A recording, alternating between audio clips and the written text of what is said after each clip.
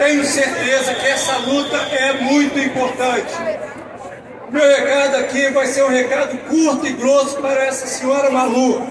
Ela acha que nós somos velhinhos, que nós estamos de cabelo branco, que a gente não vai mais brigar, mas ela não conhece a nossa história. A nossa história é de luta.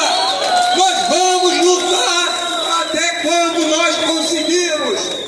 Não entenda, Malu, que você vai fazer o que na Cadesp e na Banestrede e nós vamos aceitar. Nós não vamos aceitar. Parabéns a todos.